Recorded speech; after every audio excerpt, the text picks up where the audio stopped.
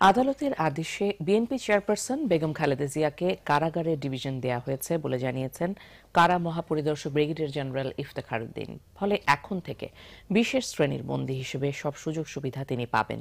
এর আগে IG prison জানিয়েছিলেন, কারা বিধি অনুযায়ী খালেদা জিয়াকে সাধারণ কয়েদি হিসেবে রাখা হয়েছে, এদিকে রায়ের সার্টিফাইড কপি হাতে পেতে আরও সময় লাগবে বলে জানান খালেদা জিয়ার আইনজীবীরা।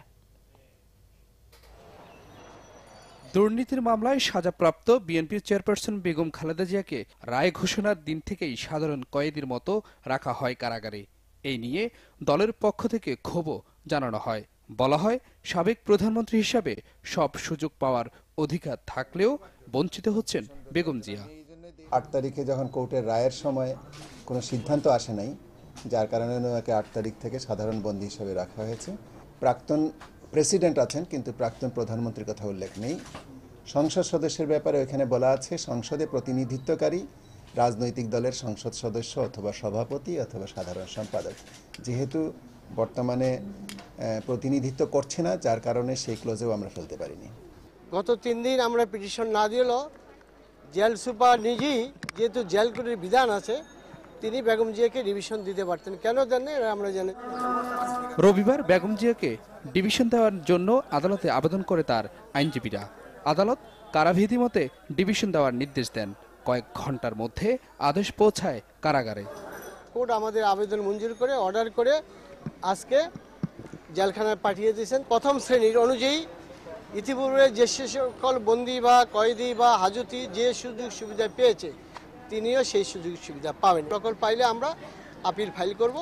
আপিল ফাইল করার পরে আমরা জামিনে প্রার্থনা করব এবং তার ফাইন স্থগিত করার জন্য রাষ্ট্র স্থগিত করার জন্য আমরা এইসব যা যা আছে আমরা করণীয় সিনিয়র আইনজীবীরা মিলে সব কিছু করতে এরপরই সন্ধ্যার দিকে খালেদা জিয়াকে ডিভিশন দেওয়ার কথা জানায় কারা কর্তৃপক্ষ। বেগম খালেদা জিয়াকে আদালতের নির্দেশ অনুযায়ী জেল কোডের সংশ্লিষ্ট ধারায় ডিভিশন প্রদান করা হয়েছে। অর্থ আত্মসাতের অভিযোগে আট ফেব্রুয়ারি জিয়া অরফানেজ ট্রাস্ট মামলায় বিএনপির চেয়ারপারসন বেগম খালেদা জিয়াকে পাঁচ বছরের দণ্ড দেয় আদালত। S M Foyez, Bangla Vision, Dhaka. Khaleda জিয়ার রায়ে তীব্র নিন্দা, ক্ষোভ ও প্রতিবাদ জানিয়েছে বিএনপির শরিক বিশ দলীয় জোটের শীর্ষ নেতারা। বিএনপি কর্মসূচির সঙ্গে একাত্মতা প্রকাশের পাশাপাশি আগামীতে একসঙ্গে কর্মসূচি দেবে জোট, জানিয়েছেন জোটের মুখপাত্র ও বিএনপির মহাসচিব মির্জা ফখরুল ইসলাম আলমগীর।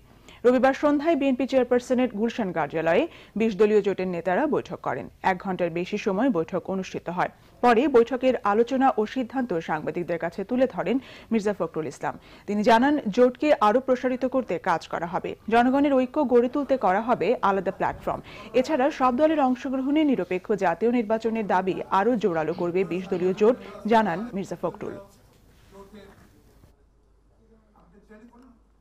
বিরোধী দলীয় জোটের নেত্রী দেশ নেত্রী বেগম খালেদা বিরুদ্ধে মামলার রায় দিয়ে তাকে যে পাঁচ বছর সাজা দেওয়া হয়েছে, তার তীব্র নিন্দা জানিয়েছেন, ক্ষোভ জানিয়েছেন এবং প্রতিবাদ জানিয়েছেন। ভবিষ্যতে এই বিশ দলীয় জোটের ঐক্যকে আরও প্রসারিত করবার জন্য অন্যান্য রাজনৈতিক দলগুলোর সঙ্গে তারা কথা বলার সিদ্ধান্ত নিয়েছেন। জেলে পাঠিয়ে সরকার বেগম খালেদা জিয়ার জনপ্রিয়তা আরও বাড়িয়ে দিয়েছে বলে মন্তব্য করেছেন বিএনপি নেতারা। রায়ের পর সরকারের চিন্তা অনুযায়ী সহিংস আন্দোলন না করায় তারা হতাশ বলেও মনে করেন তারা। ঢাকা রিপোর্টার্স ইউনিটিতে ড্যাবের সমাবেশে বিএনপি স্থায়ী কমিটির সদস্য নজরুল ইসলাম খান বলেন, জিয়া অরফানেজ ট্রাস্টের সাথে জড়িত না থাকার পরও বেগম জিয়াকে সাজা দেয়া হয়েছে। আওয়ামী লীগ নেতারা বলছেন, দুর্নীতির দায়ে বেগম জিয়ার সাজা হয়েছে, অথচ দুদক আইনে নয়, তাকে সাজা দেওয়া হয়েছে পেনাল কোড অনুযায়ী। বিএনপি বেগম খালেদা জিয়ার গ্রেফতারের পরে তাদের চিন্তা অনুযায়ী কিছু করে নাই, এতে তারা একটু হতাশ। যদি বিএনপি নেতাকর্মীরা ভাঙচুর করত, তাহলে ওই সুযোগে তারা গাড়িতে আগুন দিত, মানুষ পুড়িয়ে মারত, এবং দায় দিত বিএনপির উপর। এই সুযোগটা পায় নাই তারা, এই জন্য তারা খুব হতাশ। বেগম খালেদা জিয়াকে জেলে দিয়ে তার জনপ্রিয়তা বাড়িয়ে দেওয়া হয়েছে, কমাতে পারে নাই সরকার। কারণ এই বাংলাদেশের কোনো মানুষ বিশ্বাস করে না যে বেগম খালেদা জিয়া দুই কোটি টাকা তসরফের জন্য তাই আরে বেগম খালেদা জিয়ার প্রধানমন্ত্রী থাকা দরকার নাই। এমনিও যদি কখনো চায় দুই কোটি টাকা জোগাড় করতে, কয়দিন লাগে তার? এদিকে নয়াপল্টন কার্যালয়ে সংবাদ সম্মেলনে বিএনপি নেতা রুহুল কবির রিজভির অভিযোগ রায়কে কেন্দ্র করে চার হাজারের বেশি নেতাকর্মীকে গ্রেফতার করা হয়েছে। চেয়ারপারসনকে জেলখানায় নিপীড়নের মধ্যে রাখা হয়েছে বলে অভিযোগ করেন তিনি। যেখানে তাকে রাখা হয়েছে, সেখানে তাকে রাখা যায় না। এটা রাখা হয়েছে উৎপীড়নের অংশ হিসেবে। তাকে যন্ত্রণা দেওয়া, কষ্ট দেওয়ার অংশ হিসেবে। তিনবারের প্রধানমন্ত্রী, একটা পোড়ো পোড়ো বাড়ি। আপনার সিমেন্ট খুলে পড়ছে, বালি উঠছে, আর সেই কক্ষের মধ্যে তাকে রাখবেন। এটা ভয়ঙ্কর রকমের মানে অন্যায় শুধু না একটা অপরাধমূলক কাজ করছে। বিক্ষোভ মিছিলের সময় পুলিশের ধাওয়ায় আহত হয়ে পিরোজপুরের স্বেচ্ছাসেবক দলের নেতা আসাদুজ্জামান বাবরের মৃত্যুতে তীব্র নিন্দা জানান রিজভি আহমেদ। জাহাঙ্গীর আকন্দ বাংলা ভিশন ঢাকা। সড়ক পরিবহন ও সেতুমন্ত্রী ওবায়দুল কাদের বলেছেন জেল আরামায়েশের জায়গা নয়। এরপরও বেগম খালেদা জিয়া ডিভিশনের চেয়ে বেশি সুযোগ সুবিধা পাচ্ছেন। আর স্বরাষ্ট্রমন্ত্রী আসাদুজ্জামান খান জানিয়েছেন আদালতের রায় অনুযায়ী খালেদা জিয়ার থাকার ব্যবস্থা করা হয়েছে। এদিকে আইনমন্ত্রী আনিসুল হক বলেছেন বেগম জিয়া আইনের কারণে নির্বাচন করতে না পারলে সরকারের করার কিছু নেই। রবিবার সচিবালয়ে সংবাদ সম্মেলনে বিএনপি চেয়ারপারসন বেগম খালেদা জিয়ার কারাগারে ডিভিশন দেওয়া প্রসঙ্গে কথা বলেন সড়ক পরিবহন ও সেতুমন্ত্রী ওবায়দুল কাদের। বেগম জিয়াকে যেখানে রাখা হয়েছে তা ভিআইপি আসামি রাখার মতো করে ডেকোরেশন করা হয়েছে বলে জানান তিনি। বাংলাদেশে একটা বড় দলের চেয়ারপারসন। তিনি একাধিকবার প্রধানমন্ত্রী। কাজেই তাকে কোনো প্রকার অসম্মান অমর্যাদার বা তার সুযোগ সুবিধা থেকে তাকে বঞ্চিত করা, সেটা এখন পর্যন্ত হয়নি। আমার মনে ওনার কোনো অসম্মান হবে না। ওনার মর্যাদা, ওনার যতটুকু পাওয়া উচিত, সবটুকু দেওয়া, খাওয়া দাওয়া খাওয়া দাওয়া থেকে শুরু করে অন্যান্য ফ্যাসিলিটিস যা যা ওনার প্রয়োজনীয় সবই উনি পাবেন। তারপরেও যে কথা বললাম জেল তো জেল। সচিবালয়ে আইন শৃঙ্খলা সংক্রান্ত বৈঠক শেষে স্বরাষ্ট্রমন্ত্রী সাংবাদিকদের বলেন আদালত যেভাবে নির্দেশ দিয়েছে সেভাবেই সুযোগ সুবিধা নিশ্চিত করা হয়েছে। মহামান্য আদালত থেকে একটা দিক নির্দেশনা আসছে আমরা সেই অনুযায়ী আমরা ব্যবস্থা নেব। তারপরে আমরা আমরা বলি যে তার আমি আগেও বলেছি তার সামাজিক মর্যাদা এবং দুইবার তিনি প্রধানমন্ত্রী ছিলেন সেই দিকে খেয়াল রেখেই আমরা সমস্ত ব্যবস্থা নিয়েছি। এগুলি অলরেডি ইমপ্লিমেন্ট করা হয়ে গিয়েছে এবং যদি আরও কিছু নতুন কিছু ইমপ্লিমেন্ট করার জন্য আমাদের কাছে আসে অবশ্যই সেগুলি ইমপ্লিমেন্ট হবে এদিকে বিচার প্রশিক্ষণ ইনস্টিটিউটে এক অনুষ্ঠানে আইনমন্ত্রী আনিসুল হক বলেছেন কাউকে বাদ রেখে নির্বাচনে যাওয়ার মতো ভীত নয় সরকার। কে নির্বাচন করতে পারবে বা পারবে না সেটি আদালত ও নির্বাচন কমিশনের বিষয়। সরকার এত ভীত না যে কাউকে নির্বাচনের বাইরে রেখে নির্বাচন করার ইচ্ছা আমাদের আছে। ইট ইজ এন ওপ বাংলাদেশে নির্বাচন একটা সাংবিধানিক প্রসেস এবং সেইখানে যে এই নির্বাচনে অংশগ্রহণ করতে চায়, সেই ওয়েলকাম আমরা কাউকে নির্বাচনের বাইরে রাখতে চাই না। কিন্তু আইনের কারণে কেউ যদি নির্বাচনের বাইরে থাকে, সেখানে আমাদের কিছু করার নেই। আইন নিজের গতিতে চলবে বলেও মন্তব্য করেন আইনমন্ত্রী রিশান নাসরুল্লাহ। বাংলা ভিশন ঢাকা। ছয় বছর পেরিয়ে গেলেও বিচারের মুখ দেখেনি সাংবাদিক দম্পতি সাগররুনি হত্যাকাণ্ড। এই দীর্ঘ সময় পরও মামলার তদন্ত প্রতিবেদন না দেওয়ায় ক্ষোভ প্রকাশ করেছেন সাংবাদিক নেতারা। এই ঘটনায় আদালতের কাছে রুল জারির দাবি জানিয়েছেন তারা। এদিকে সচিবালয়ে আইন শৃঙ্খলা বিষয়ক সভা শেষে স্বরাষ্ট্রমন্ত্রী আসাদুজ্জামান খান বলেছেন, সাংবাদিক দম্পতি হত্যাকাণ্ডের ঘটনায় আইন শৃঙ্খলা বাহিনীর কোনো ব্যর্থতা নেই। দুই হাজার বারো থেকে দুই হাজার আঠারো, দীর্ঘ প্রায় ছয় বছর। জোড়া খুন, কিন্তু বিচার নেই। ছয় বছর আগে এই দিনেই নিজ ফ্ল্যাটে খুন হন সাংবাদিক দম্পতি সাগর রুনি। ওই হত্যার পরপরই সরকারের পক্ষ থেকে আটচল্লিশ ঘণ্টার মধ্যে খুনিদের ধরার আশ্বাস দেওয়া হলেও সময় শুধু বইই গেছে। কিন্তু নেই দৃশ্যমান কোনো অগ্রগতি। চাঞ্চল্যকর এই হত্যাকাণ্ডের দিবসে আবারও সাগর রুনি হত্যার বিচার চাইলেন সাংবাদিকরা। সকালে রাজধানীর সেগুন বাগিচায় ঢাকা রিপোর্টার্স ইউনিটি ডিআরইউ এর সমাবেশ থেকে নেতারা অবিলম্বে সাংবাদিক দম্পতি হত্যার সাথে জড়িতদের বিচারের দাবি জানান। কি কারণে হত্যাকাণ্ড হয়েছিল সেটাও কিন্তু আমাদের কাছে সুস্পষ্ট নয়। হত্যাকারীর তো গ্রেপ্তার হয়নি কোনো সম্ভাবনা আমরা দেখছি না। একটা মামলা হয়েছে তদন্ত হচ্ছে তদন্ত হচ্ছে তো হচ্ছেই। সাগর রুনি হত্যাকাণ্ডের তদন্ত হচ্ছে না বিচার তো অনেক দূরের কথা।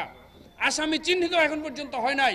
সেই তদন্তটি যে থেমে আছে সেই তদন্ত কাজটি আবার শুরু করার জন্য আন্দোলন আমাদের করতে হবে। যে কোনো নাগরিক হত্যার বিচার করা রাষ্ট্রের দায়িত্ব।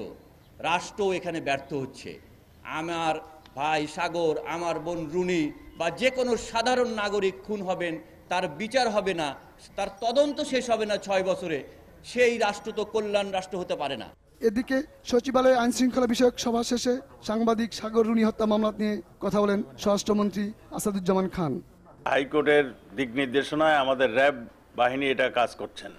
এবং র্যাব বাহিনী যে কাজ করছেন ডিএনএ নিয়ে কাজ করছেন আমরা মনে করি তারা শীঘ্রই আমাদেরকে একটা ই দিতে পারবেন, আলোকিত করতে পারবেন। সমাবেশ শেষে সাংবাদিকরা মৌন মিছিল করেন। পরে ডিআরইউ এর একটি প্রতিনিধি দল সচিবালয়ে স্বরাষ্ট্রমন্ত্রীর কাছে সাংবাদিক দম্পতি হত্যার দ্রুত বিচারের দাবিতে স্মারকলিপি দেন। দুই হাজার বারো সালের এগারো ফেব্রুয়ারি রাজধানীর পূর্ব রাজাবাজারের ফ্ল্যাট থেকে উদ্ধার করা হয় সাংবাদিক সাগর ও রুনির মরদেহ। গেলমান শফি বাংলা ভিশন ঢাকা। চলতি এসএসসি পরীক্ষার প্রতি বিষয়ে প্রশ্ন ফাঁসের অভিযোগ। পরীক্ষা শুরুর কিছু সময় আগে ফাঁসের তথ্য উদ্ধার করেছে গোয়েন্দারা। প্রশ্ন ফাঁসে জড়িত চোদ্দ জনকে গ্রেফতারের পর সংবাদ সম্মেলনে তথ্য জানায় গোয়েন্দা পুলিশ। তবে প্রাথমিকভাবে শিক্ষা বোর্ডের কারও জড়িত থাকার প্রমাণ মেলেনি এখনও। পাবলিক পরীক্ষা আর প্রশ্ন ফাঁস যেন সমান্তরাল ঘটনা। চলতি এসএসসি পরীক্ষায়ও তারও ব্যাপক। গোয়েন্দারা পেয়েছে ফাঁস হওয়া গণিত প্রশ্নের অংশবিশেষ। ফেসবুকে লিংক দিয়ে প্রশ্ন ফাঁসে জড়িত চোদ্দ জনকে গ্রেফতার করা হয়েছে রাজধানীর বিভিন্ন জায়গা থেকে। রবিবার সংবাদ সম্মেলনে গোয়েন্দা কর্মকর্তারা জানান প্রশ্ন ছড়ানো হচ্ছে ফেসবুক ইমো ও ভাইবারে। শিক্ষক জড়িত নাকি পিয়ন জড়িত নাকি কোনো ক্লার্ক জড়িত না কি জড়িত? আমি বলছি যে একটা প্রশ্নপত্র সেন্টারে যাওয়ার পরে এই বক্সটা এই প্যাকেটটা যখন খোলা হয় সেই খোলা থেকে শুরু করে পরীক্ষার হলে গিয়ে ছাত্রছাত্রীদের কাছে প্রশ্নপত্রটা পৌঁছানো পর্যন্ত যে কোনো সময়। এই ঘটনাটা ঘটতে পারে। এখন এই প্রক্রিয়া এইটার duration maybe thirty to forty minutes এর বেশি না। চল্লিশ মিনিট আগে প্রশ্নপত্র খোলার কোনো নিয়ম নাই। সামাজিক মাধ্যমগুলোতে বিষয়ভিত্তিক গ্রুপ খোলে চক্রটি। পরীক্ষার আগের রাতে ভুয়া প্রশ্ন ছড়িয়ে পরীক্ষার্থীদের বিভ্রান্ত করা হচ্ছে বলেও জানায় গোয়েন্দারা। প্রশ্নপত্র ফাঁসের বিষয়ে যেই প্রক্রিয়া সেই প্রক্রিয়ায় আমরা যতটুকু তদন্ত করেছি এবং যাদেরকে ধরেছি আমাদের তদন্তে এই পর্যন্ত বোর্ডের কিংবা মন্ত্রণালয়ের কারও সম্পৃক্ততা পাইনি। এদিকে রাজধানীর পূর্ব রাজাবাজার থেকে প্রশ্ন ফাঁসে জড়িত আরেকজনকে আটক করে র্যাব। রিয়াদ তালুকদার, বাংলা ভিশন, ঢাকা। প্রধানমন্ত্রী শেখ হাসিনার সফরকে ঘিরে ইতালির রাজধানী রোমে উৎসব মুখর পরিবেশ। ইতালিতে জড়ো হয়েছেন ইউরোপের বিভিন্ন দেশের প্রবাসী আওয়ামী লীগ নেতারা। দীর্ঘ নয় বছর পর প্রধানমন্ত্রী শেখ হাসিনাকে সংবর্ধনা জানানোর ব্যাপক প্রস্তুতি নিয়েছেন তারা। এর আগে সকাল দশটায় এমিরেটস এয়ারলাইন্সের বিমানে ঢাকা ছাড়েন প্রধানমন্ত্রী। হজরত শাহজালাল আন্তর্জাতিক বিমানবন্দরে তাঁকে বিদায় জানান মন্ত্রী পরিষদের সদস্য, তিন বাহিনীর প্রধান, সামরিক, বেসামরিক প্রশাসনের ঊর্ধ্বতন কর্মকর্তারা। ইতালির স্থানীয় সময় সন্ধ্যা পৌনে সাতটায় রোমের ফিউমিসিনো বিমানবন্দরে পৌঁছান প্রধানমন্ত্রী। সফরে জাতিসংঘের বিশেষায়িত কৃষি সংস্থা International Fund for Agricultural Development, ইফাদের বার্ষিক অধিবেশনে যোগ দেবেন প্রধানমন্ত্রী। এছাড়া ক্যাথলিক খ্রিস্টানদের ধর্মগুরু পোপ ফ্রান্সিসের আমন্ত্রণে ভ্যাটিকান সিটিও সফর করবেন তিনি। চার দিনের সফর শেষে ষোলো ফেব্রুয়ারি দেশে ফিরবেন প্রধানমন্ত্রী। কেবল পুঁথিগত বিদ্যা নয়, বরং দেশ বিদেশের সর্বশেষ তথ্য সমৃদ্ধ শিক্ষা গবেষণা এবং সৃজনশীল কর্মকাণ্ডে যাতে শিক্ষার্থীরা সম্পৃক্ত হতে পারে, সেই লক্ষ্যে বিশ্ববিদ্যালয় সহ উচ্চশিক্ষা প্রতিষ্ঠানগুলোকে পদক্ষেপ নেওয়ার আহ্বান জানিয়েছেন রাষ্ট্রপতি অ্যাডভোকেট আব্দুল হামিদ। রবিবার দুপুরে চট্টগ্রাম ভেটেরিনারি ও এনিম্যাল সায়েন্সেস বিশ্ববিদ্যালয়ের প্রথম সমাবর্তন অনুষ্ঠানে তিনি আহ্বান জানান। এ সময় রাষ্ট্রপতি শিক্ষার্থীদের উদ্দেশ্যে বলেন, সমুদ্র সীমা বিজয়ের ফলে বঙ্গোপসাগরের বিশাল জলসীমায় সামুদ্রিক মৎস্য সম্পদ উন্নয়নের যে অপার সুযোগ সৃষ্টি হয়েছে, গবেষণা কর্মের মাধ্যমে ভেটেরিনারি বিশ্ববিদ্যালয় তাতে গুরুত্বপূর্ণ ভূমিকা রাখবে। রাষ্ট্রপতি আশা করেন, বিশ্ববিদ্যালয়ের গ্রাজুয়েটরা মাঠ পর্যায়ে তাদের অর্জিত জ্ঞানকে কাজে লাগিয়ে মেধাবী জাতি গঠনের সহায়ক ভূমিকা পালন করবে। বিশ্ববিদ্যালয়টি থেকে স্নাতক আটশো চুয়াল্লিশ জন, স্নাতকোত্তর দুইশো ষোলো জন ও দুইজন পিএইচডি ডিগ্রিধারীকে সনদ দেওয়া হয়। সাজার মেয়াদ পাঁচ থেকে বাড়িয়ে সাত বছর নির্ধারণ এবং অর্থদণ্ডের বিধান রেখে জাতীয় সংসদে আজ পাশ হয়েছে দ্রুত বিচার আইনের সংশোধনী বিল। সংশোধিত এই আইনে দ্রুত বিচার আদালতে বিশেষভাবে ক্ষমতাপ্রাপ্ত একজন প্রথম শ্রেণির ম্যাজিস্ট্রেট নিয়োগের ক্ষমতা দেওয়া হয়েছে সরকারকে। রবিবার স্বরাষ্ট্রমন্ত্রী আসাদুজ্জামান খান আইন শৃঙ্খলা বিঘ্নকারী অপরাধ দ্রুত বিচার সংশোধন বিল দু হাজার আঠারো উত্থাপন করলে কোনো বিরোধিতা ছাড়াই পাশ হয় বহুল আলোচিত আইনটির সংশোধনী। এর আগে বিলের উপর দেওয়া জনমত যাচাই বাছাই কমিটিতে পাঠানোর প্রস্তাবও নাকচ হয়। চাঁদাবাজি, যান চলাচলের প্রতিবন্ধকতা তৈরি, স্থাবর, অস্থাবর সম্পত্তি নষ্ট, ছিনতাই, সন্ত্রাসী কর্মকাণ্ড, দরপত্র কেনায় প্রতিবন্ধকতা সৃষ্টি ভয় ভীতি প্রদর্শন সহ বিভিন্ন অপরাধের বিচার দ্রুত করতে এ আইন করা হয়েছিল। কোনো ব্যক্তি আইন শৃঙ্খলা বিঘ্নকারী অপরাধ করলে দ্রুত বিচার আইনে তার বিচার হবে। বিলে সাজার মেয়াদ বাড়িয়ে সর্বনিম্ন দুই বছর ও সর্বোচ্চ সাত বছর সশ্রম কারাদণ্ড এবং অর্থদণ্ডের বিধান রাখা হয়েছে। আইনটি দু সালের সাত এপ্রিল পর্যন্ত বলবৎ থাকবে। চিকিৎসক প্রকৌশলী, পুলিশ এমনকি কাস্টমস যুক্তরাষ্ট্রে আরও অনেক গুরুত্বপূর্ণ ও সম্মানজনক পেশায় সাফল্যের সঙ্গে কাজ করে যাচ্ছে নিউ ইয়র্কে থাকা প্রবাসীরা। বৈধভাবে আমেরিকায় থেকে দেশটির উন্নয়নে যেমন অংশ নিচ্ছেন, তেমনি বাংলাদেশের ভাবমূর্তি উজ্জ্বল করছেন বিশ্ব পরিমণ্ডলে। তাদের কেউ কেউ চান দেশে ফিরতে দেশের উন্নয়নে। যুক্তরাষ্ট্র থেকে ফিরে প্রবাসীদের নিয়ে সৈয়দ আব্দুল মুহিতের রিপোর্ট ক্যামেরা ছিলেন কামরুল হাসান।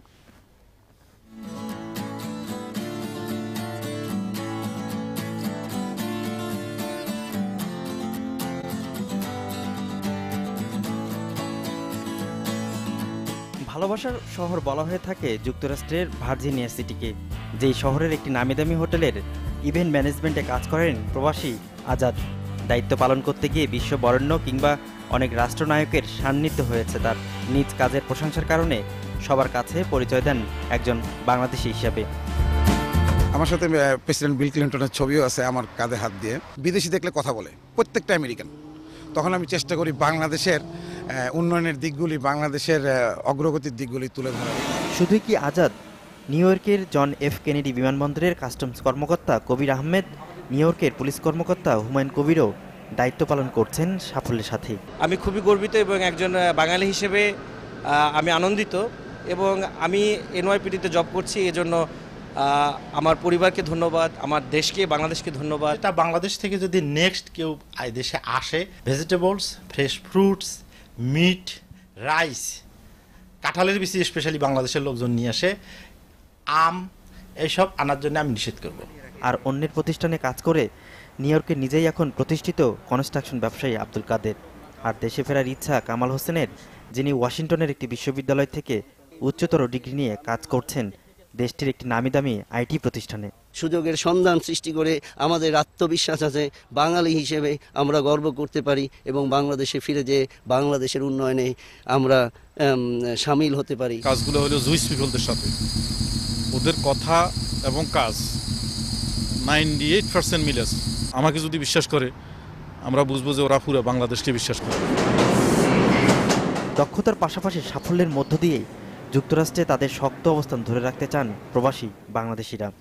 উন্নত জীবন কিংবা উচ্চশিক্ষার আশা এসব দেশে আসলেও শেষ পর্যন্ত মেধা আর যোগ্যতা দিয়ে ভাবমূর্তি উজ্জ্বল করে থাকেন সেসব দেশের।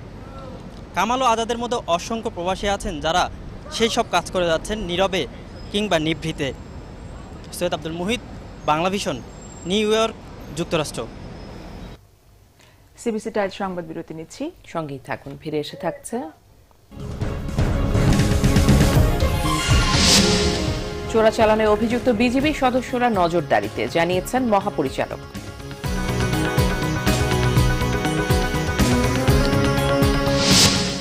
দুর্নীতি দেশের প্রধান সমস্যা ক্রিকেটার সাকিবকে শুভেচ্ছা দূত নিয়োগ অনুষ্ঠানে বললেন দুদক চেয়ারম্যান।